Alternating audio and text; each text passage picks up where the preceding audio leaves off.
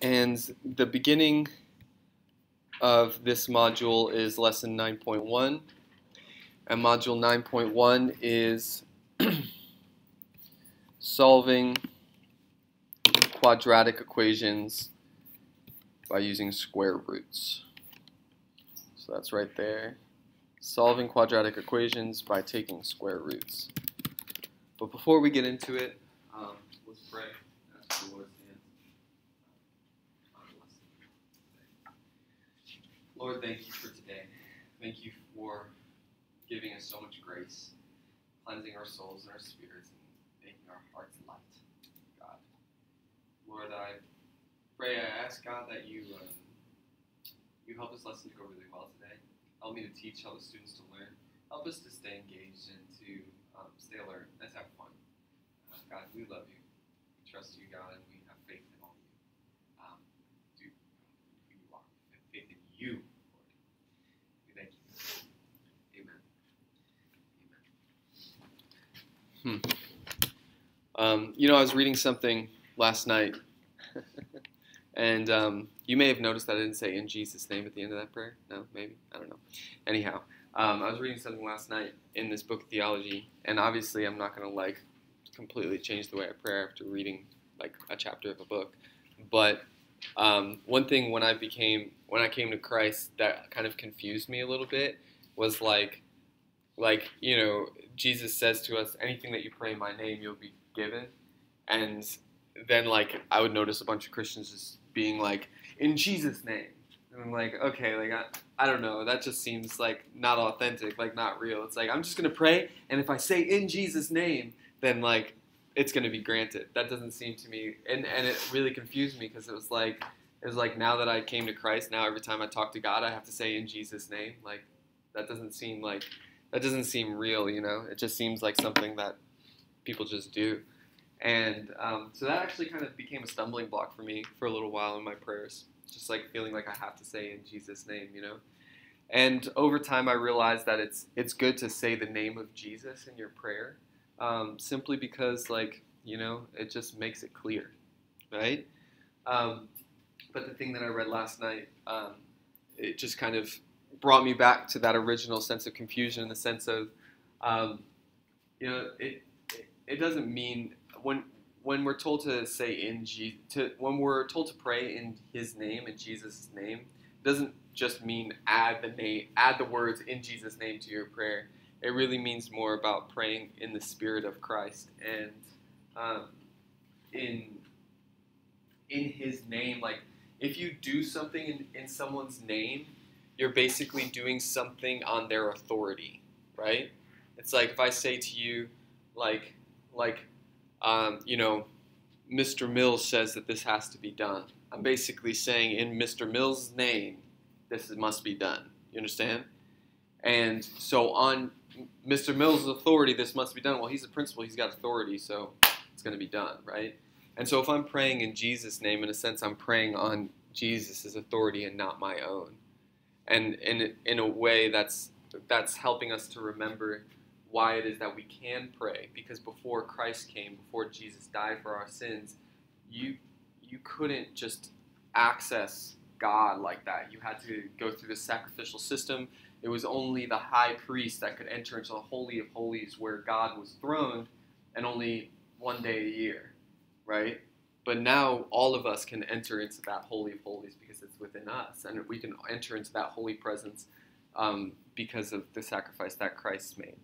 And so when we say in Jesus' name, in a sense, it's not just words that we're saying; it's understanding that it's through the authority that's given to us by Christ, and it's not just our authority. Really, it's it's Jesus' authority that we're praying with. Does that make sense? yeah, thought I'd share. So, with that being said, um, let's uh, let's do well. So, um, we have lesson 9.1: solving equations by taking square roots. Okay. So, if I ask you, um, square root is four, you would say two. We can put our computers away, guys. If I say the square root of nine, you would say three. Three. If I said the square root of 25, you would say? Five. Uh, good. And thank you. Um, the reality is that generally speaking, when we're talking about the square root of something, we're talking about the positive answer, but there's actually another answer. Okay? If I define a square root as um, when I take the square root of something, the result is something that when multiplied by itself, I get that answer, right? Well, the square root of 4 is clearly 2, right? But is there another number that I can multiply by itself to get 4? Is there another number? If I multiply 2 by 2, I get 4, right? Is there another number that I can multiply by itself to get 4? Negative 2, right? Does that make sense? Because negative 2 times negative 2 is also 4. So when I take a square root, there's actually two solutions. There's a positive and a negative solution. Does that make sense to you guys? It's just that generally speaking, if I just ask for the square root of 36, for instance, you just tell me 6. Because generally speaking, when we're asking for a square root, just means the positive solution.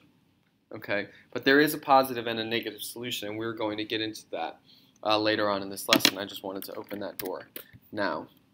But with that being said, uh, before we march into this lesson, we have to learn some properties of radicals. And the first property of radicals that we're going to cover is called the product property. And we know that product means multiplying.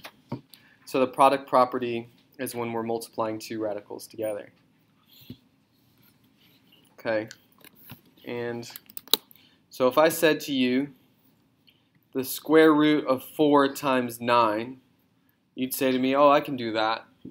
Well, why? Well, because the square root of 4 times 9 is the same thing. 4 times 9 is 36. And what's the square root of 36? 6. 6, good.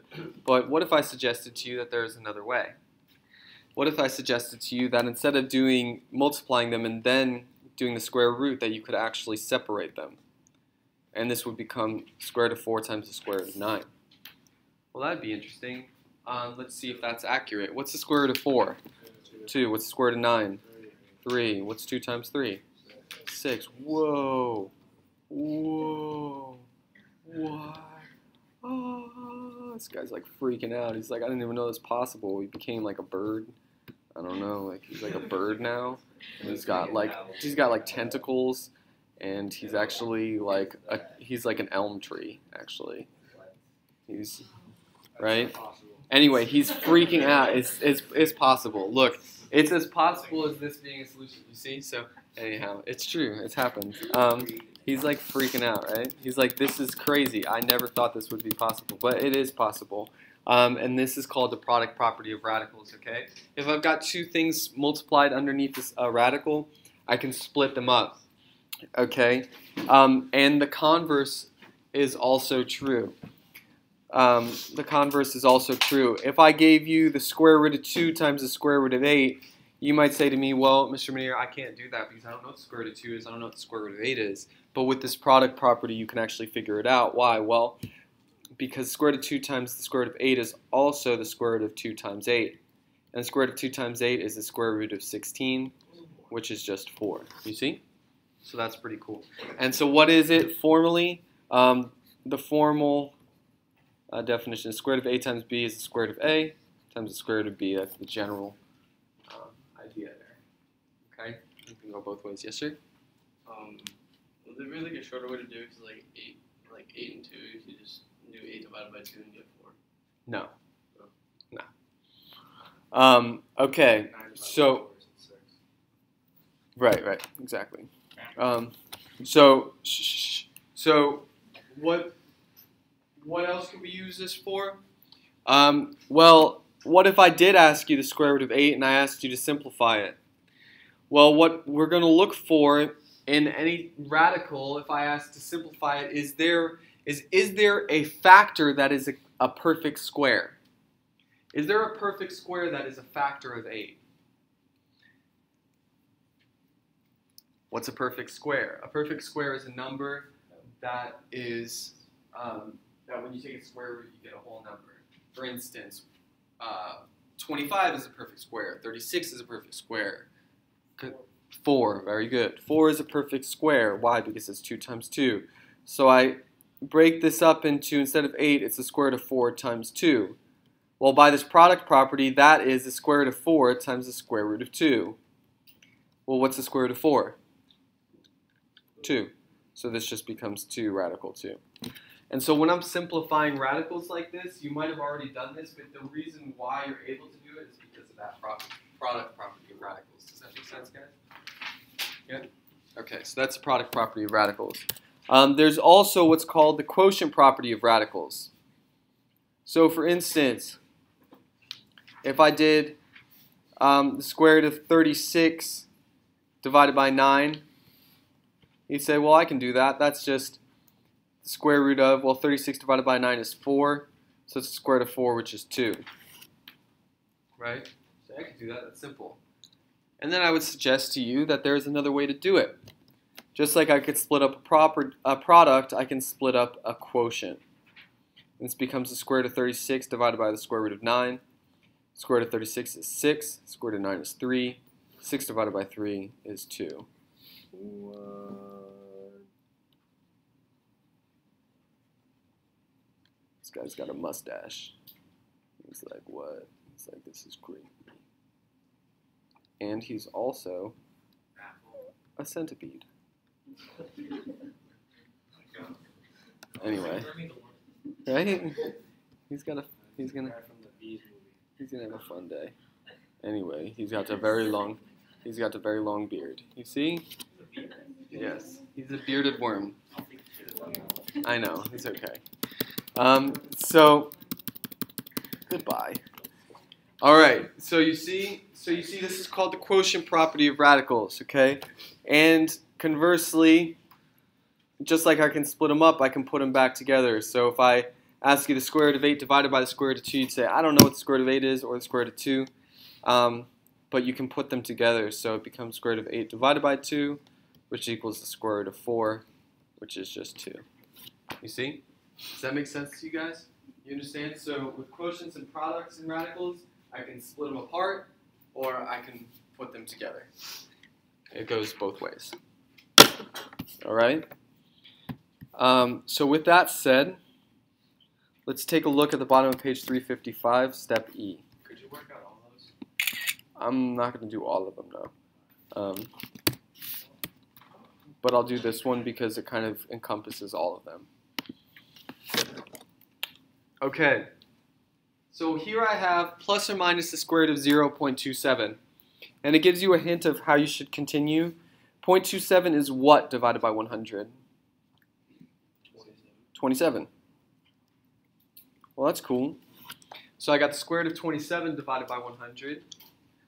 Well, by the quotient property of radicals, I can take this quotient and split it apart. So it's plus or minus the square root of 27 divided by the square root of 100. Well, that's cool. Um, because that already starts to help me out here. What's the square root of 100? 10. 10, good. And then remember, whenever I'm simplifying a radical, I want to see if a perfect square is a factor of that radical. Um, are there any perfect squares that are a factor of 27? 9. Good. So 9 times 3. And then just like I split apart that quotient, I can split apart this product. And instead of the square root of 9 times 3, it's the square root of 9 times the square root of 3. The 10 stays there. And then the square root of 9 is what class? 3. So 3 times the square root of 3 over 10. And so that's my answer. Plus or minus 3 radical 3 over 10. Any questions on that? Okay, so I'm just splitting apart products, splitting apart quotients, um, and using that to simplify uh. Okay. Um, with that, I think it's it's important that we go through the list of perfect squares. So that's what I'm going to do right now.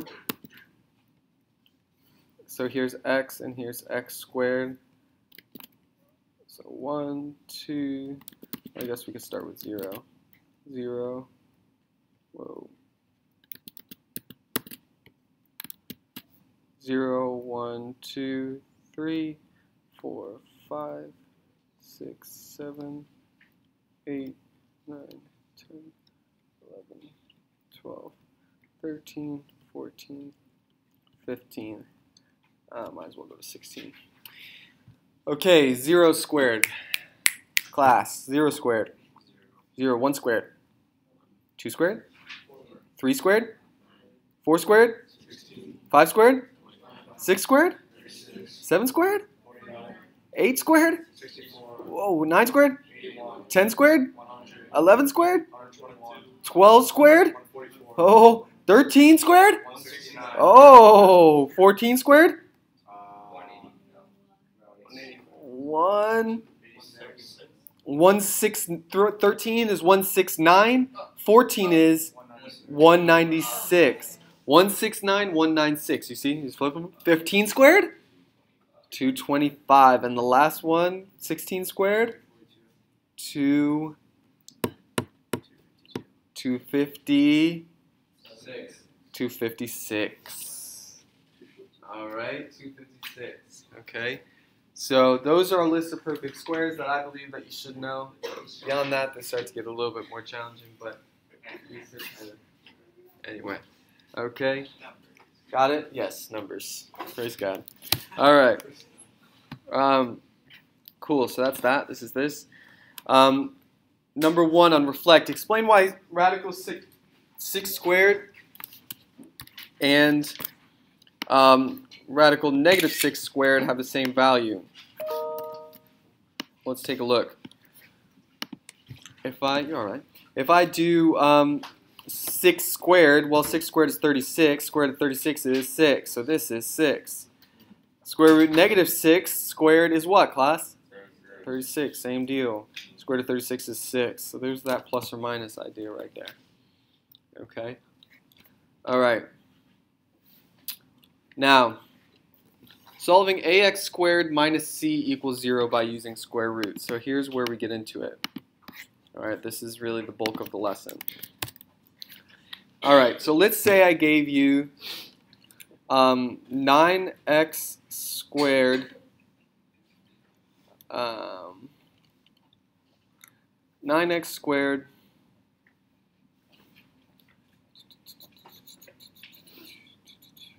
minus 3 equals 33. Okay? Let's say this is what I gave you. All right? Uh, do I want to do it that way? No, I don't want to do it that way. Sorry. Let's say I gave you x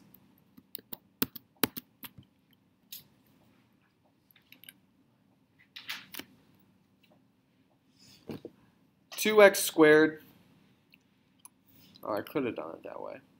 2x squared minus 3 equals uh, 29.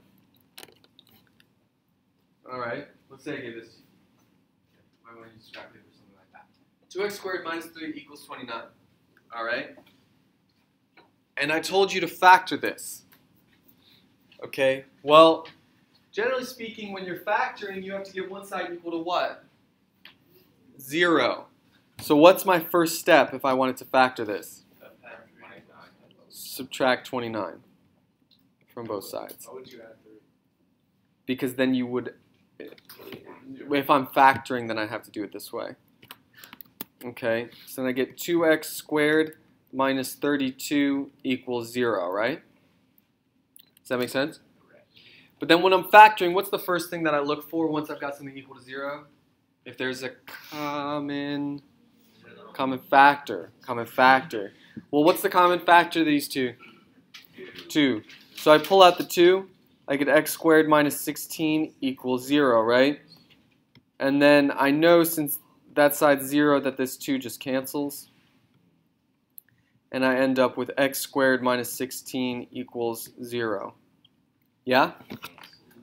Now, what does this look like, guys? The the difference of squares. The difference of squares. So all I have to do is determine what A and B are. So A is X, B is what? 4. And so what does this come out to? It comes out to X plus 4 times X minus 4 equals 0. And I won't go through the whole process of solving. I know it would be X equals negative 4 and X equals positive 4. And those would be my two solutions. Does that make sense? Okay, so that's the old way. That's how we would do it if we had to factor. If I told you you have to factor this, do it, and solve for x, you would do it that way. But what I'm going to suggest to you is that there's another way, and that's by taking square roots. Okay? So let's start with the exact same problem but do a different method. 2x squared minus 3 equals 29. Now, as Mr. Barris um, suggested, and as many of you would intuitively do, if I wasn't asking you to factor it, you wouldn't get the side equal to 0. What would be your first step if I said solve for x? Add three to You would add sides. 3 to both sides. So much more intuitively based on your experience, you would add 3 to both sides. And you would end up with 2x squared equals 32. And then what would you do? Divide by 2. Exactly. You would divide both sides by 2. And you'd get, yes. And now, now what do you do? If I want to get, I got to get rid of that square, right? So what do I do?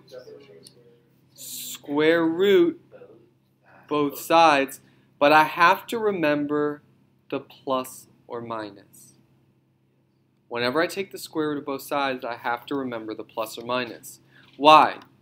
Well, because the square root always has a positive and a negative solution. So I end up with plus or minus square root of 16. Well, what's the square root of 16? 4. So in other words, my solutions are x equals negative 4 and x equals positive 4, which is exactly what I got over here. Does that make sense? Okay. So this way is a little bit more intuitive. Does that make sense? Okay. Any questions on how we did this? This new method here?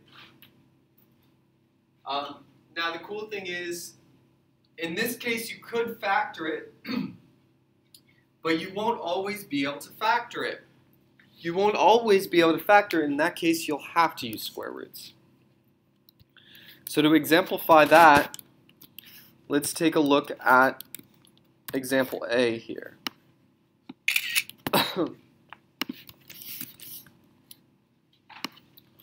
so example A is 4, 4x squared minus 5 equals 2. What's my first step if I'm solving for x? Add 5 to both sides. See how this, this comes a little bit more intuitively than factoring? 4x squared equals 7. Now what do I do? Divide by 4. I get x squared equals 7 divided by 4. Okay. And if I went through and did the division, that's 1.75. Okay, Ms. Green, what do I do now? Square root both sides. Good. I take the square root of both sides. And Christiana, what do I have to remember? I have to do the plus or minus. As soon as I take the square root, I have to get in the habit of doing plus or minus. Now, I end up with x equals plus or minus the square root of 1.75.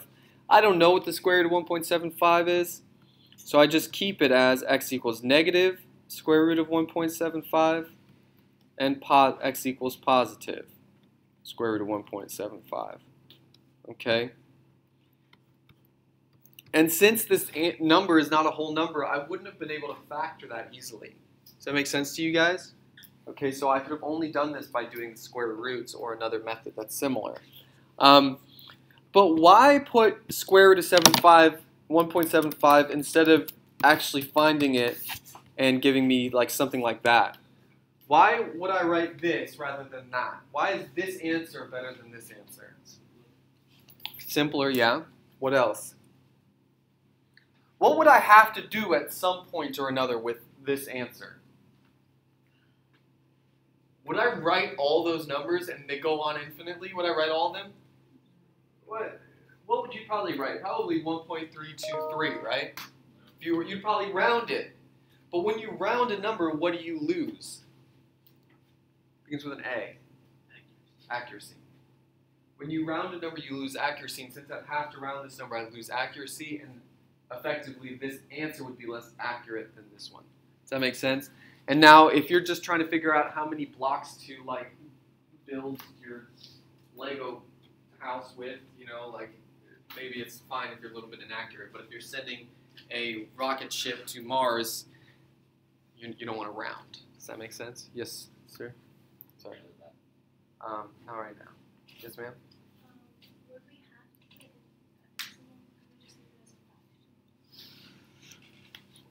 It's much better to use a decimal. Okay, it, you, it's not really appropriate to have a fraction inside of a radical. Okay, because usually you have to simplify. So, does that make sense? Okay. Good question, though. Um, okay, so with that being said, go ahead, guys, and do number four and five on the bottom of page 357.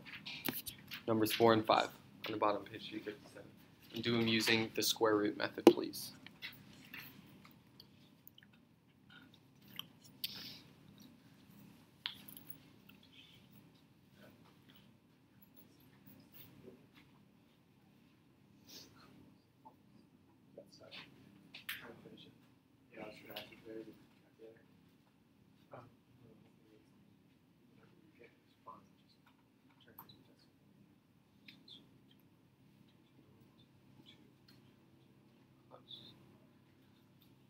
Guys, and don't be afraid of doing long division.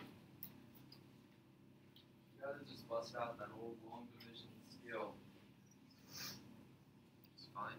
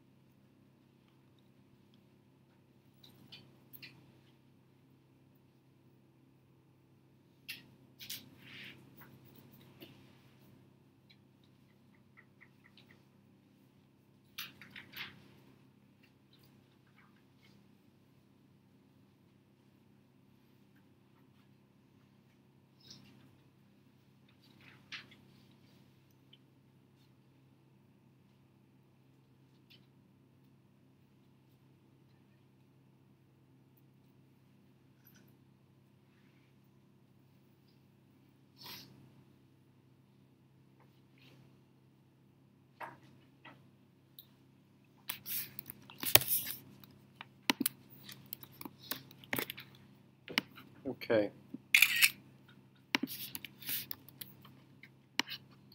Number four. First step here, subtract 6 from both sides. You end up with 3x squared equals 27. Next step is divide by 3. End up with x squared equals 9 square root both sides, plus or minus. x equals plus or minus 3. Or in other words, x equals negative 3, x equals positive 3. Pretty often I get the question, can I just leave it as x equals plus or minus 3? Uh, Technically it's accurate, but the short answer is no. Make sure you always write out the two separate solutions on any standardized test or something like the SAT, you would, you would never see the answer be like plus or minus like that. It would always be both solutions. 5x squared equals 11. Add 9 to both sides, sorry. Um, divide both sides by 5. x squared equals 11 over 5. If we have to, we do our long division here. Does 5 go into 1? No. Goes into 10, 11 twice. Minus 10 is 1. 0.0, bring down the 0. 5 goes into 10 twice. Remember the decimal place. So x squared equals 2.2. Take the square root of both sides. I get x, remember the plus or minus. x equals plus or minus the square root of 2.2, or in other words, x equals negative square root of 2.2, x equals positive root of 2.2. Any questions on how I did that? Okay.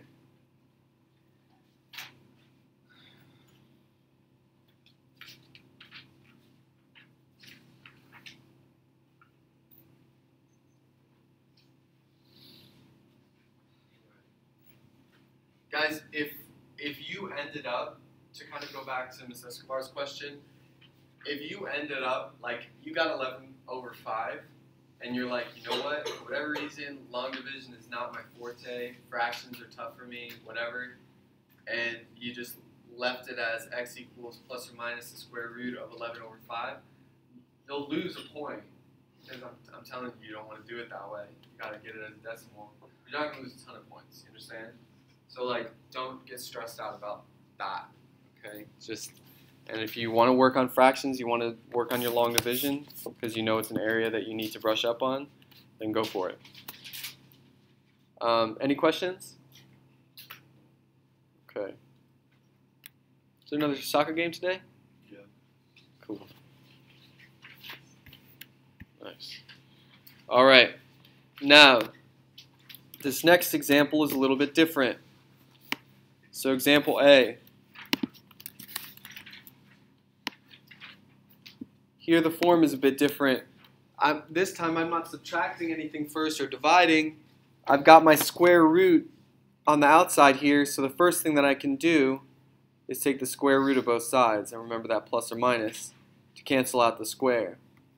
And I end up with x plus 5 equals plus or minus 6. Okay, square root of 36 is 6. Now, your book does it one way. I don't necessarily uh, have too many qualms with the way your book does it, but what I would suggest is at this point, you have plus or minus. Rather than doing anything else first, you break it into two equations, okay? Because you see you have two solutions, the positive and the negative solution. You see that? Okay, or the positive and negative equation. So you break it into two equations. x plus 5 equals negative 6, and x plus 5 equals positive 6. Why do I suggest you do it this way?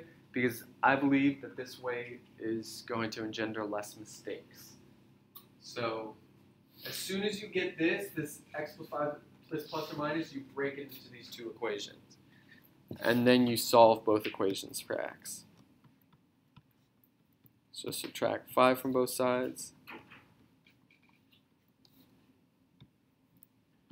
X equals negative 11, x equals 1. That's my solution. Does that make sense, guys? Okay. Good.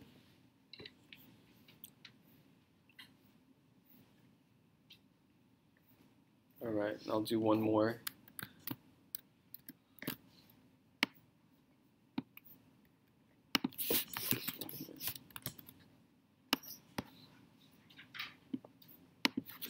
Okay.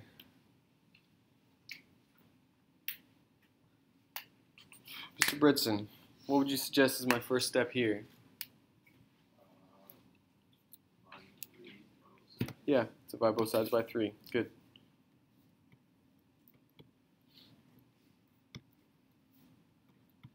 Gabriella, what would you say I do now? Once I have x minus 5 squared equals 6, what do I do now? Uh, square root. Very good. Square root both sides. I have to remember that plus or minus. I get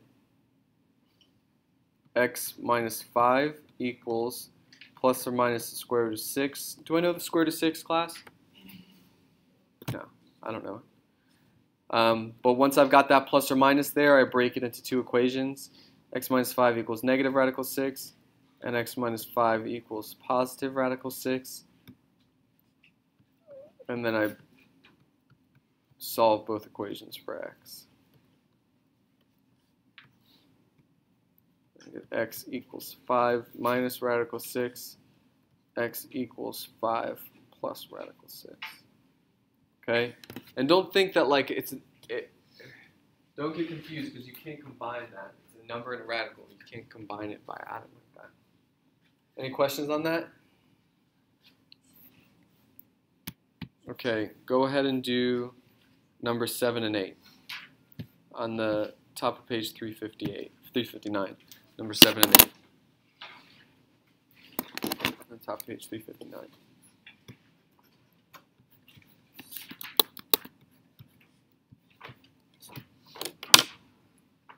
Yes, sir.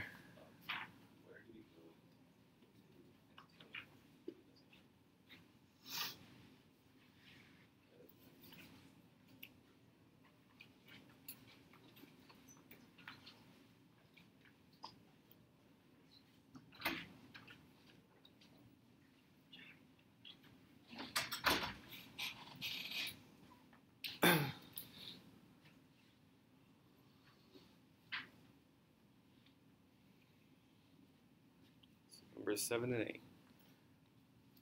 That practice.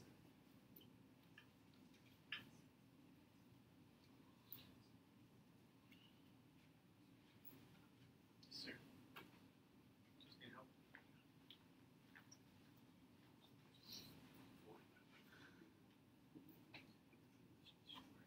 Yes, you leave it in the square, just, you're just getting rid of that four, so that four is canceled, but it's still x plus ten squared. Yeah, right. No, no, no, the whole thing is squared. Yeah. Cause yeah, 'cause you didn't do anything with this, you just got rid of the four. No, no. Yeah, yeah, so, so just write it separate.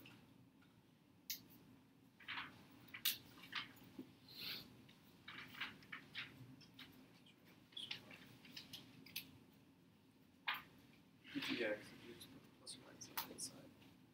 I mean, on the outside, yeah, yeah, yeah. Yeah, exactly.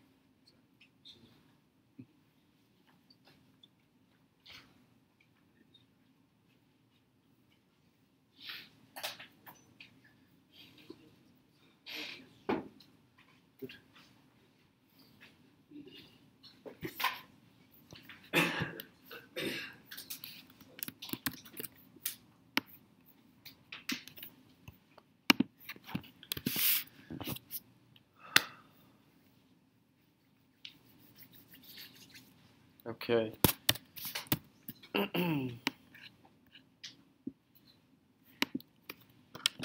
All right, let's check it out. First step in this one, divide both sides by 4. I end up with x plus 10 squared equals 6. Next step is take the square root of both sides, plus or minus. Square cancels out. I'm left with x plus 10 equals plus or minus radical 6. Separate them into two equations. x plus 10 equals negative radical 6. x plus 10 equals positive radical 6. Subtract 10 from both sides of both equations. Cancels, cancels. x equals negative 10 minus radical 6. x equals negative 10 plus radical 6. Any questions on that? Yes, ma'am.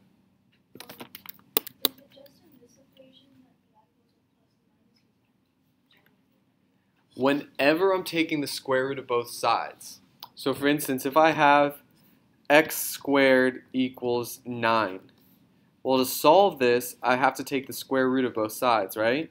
Whenever I take the square root of both sides, I have to do plus or minus. This will end up with x equals negative 3 and x equals positive 3, right? Well, why? Well, because if I'm saying x squared equals 9, if I plug 3 in there, I get 3 squared. 3 squared is what? 9.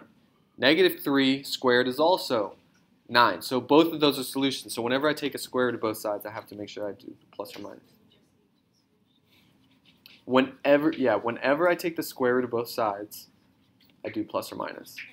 Make sense? Okay. And that's because of that positive and negative solution. All right. This one.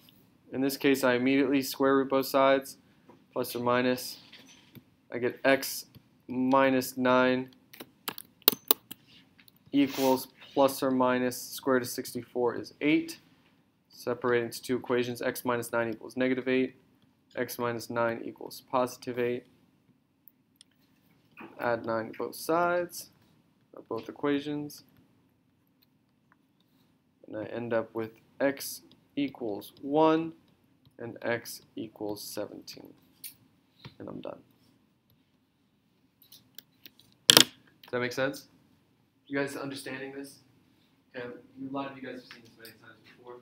Um, the biggest thing is the plus or minus and then separating out the equations. Okay, any questions on that? Yes, yes sir. It's negative 8 plus 9. Right? All right. Now, um, last thing of the day. Um, go ahead and read that example right below here where it says a contractor is building a playground. So go ahead and read that. And think about how you might find the answer.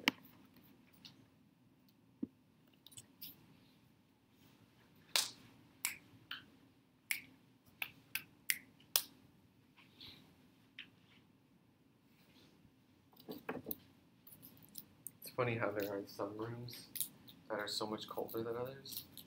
You guys notice that? Like this room's cold. It's cold.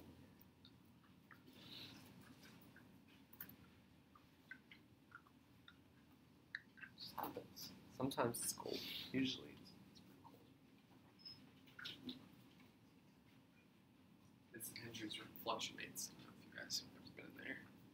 Sometimes it's hot, sometimes it's cold. Mr. Henry's room is just right. It's like, yes, sir.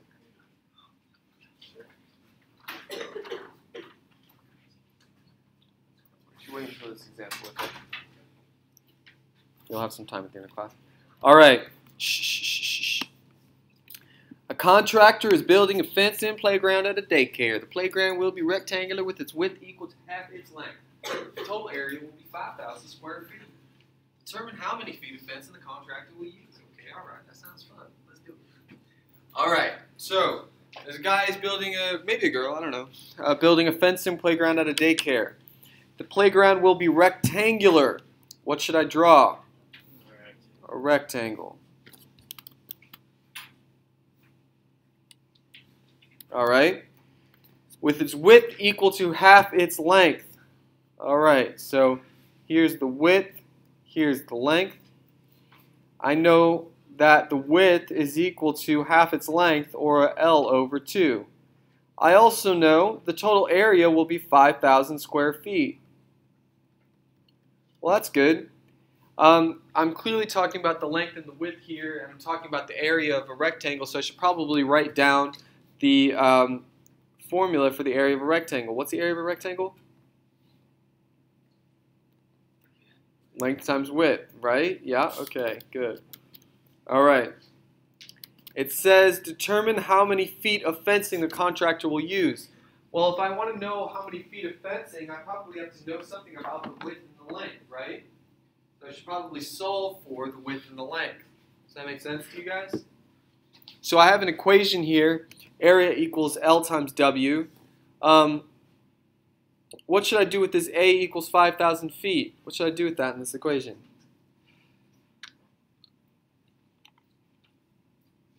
What's A? Yeah. And what is A? A what's the area in this case? 5,000. So there you go. Plug it in. 5,000 equals L.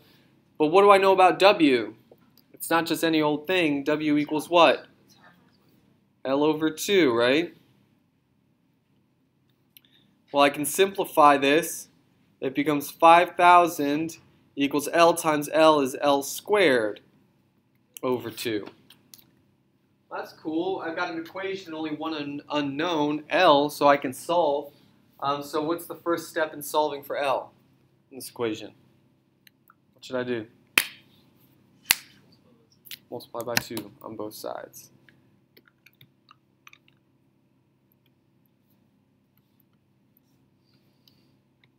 I end up with L squared equals 2 times 5,000 is 10,000. Got L squared.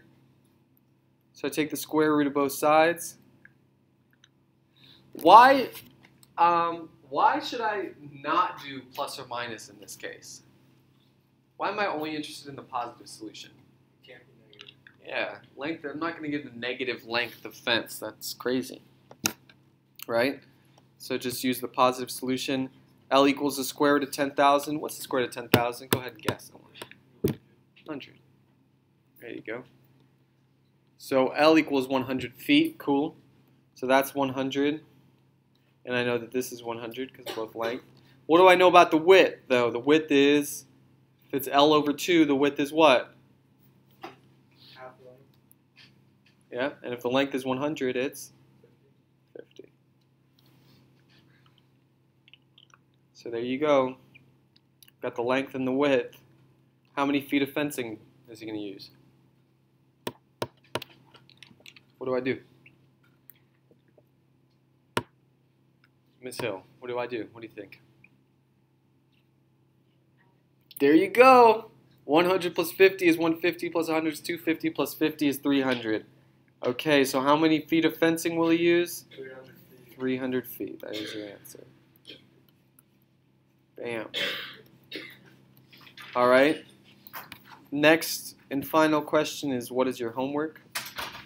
Your homework is page 361, um, numbers 1 through 16. 361, numbers 1 through 16.